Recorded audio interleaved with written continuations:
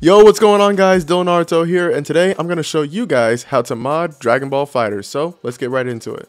So once you're on your desktop right here, you want to do something, well, what I like to do is create a shortcut for the folder so I don't have to always go into Steam to access the Dragon Ball FighterZ uh, folders.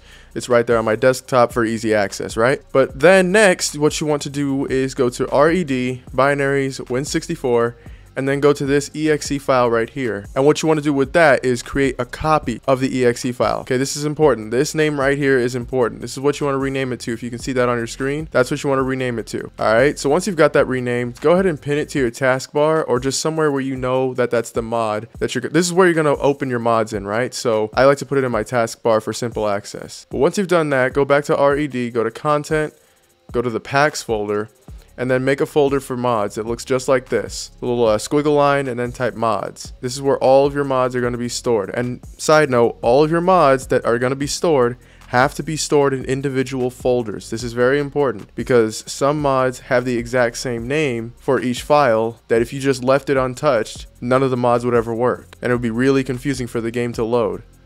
So just put them in individual folders and it should be fine. But to get a mod, you have to go online to get them. And to do that, go to videogamemods.com slash fighterz and the mod should be right there. Go ahead and hit download.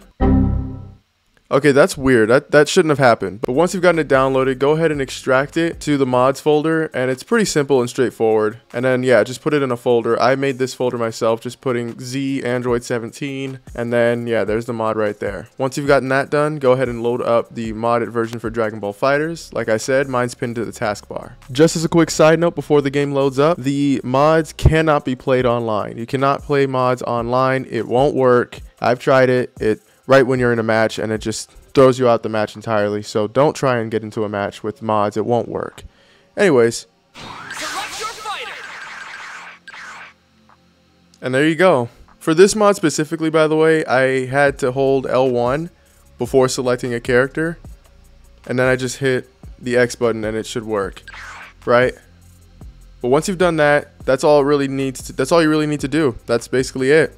And that's all there is to it. I hope you guys enjoyed this video, and if you did, make sure to hit that like button and to hit the subscribe button if you're new to the channel. I hope to see you guys next time on my next video when I talk about modding the audio for Dragon Ball FighterZ. I will make that video a lot sooner than I was supposed to make this one. I'll make it probably sometime this week, so make sure to look forward to that, and I'll see you guys in the next one. Peace out.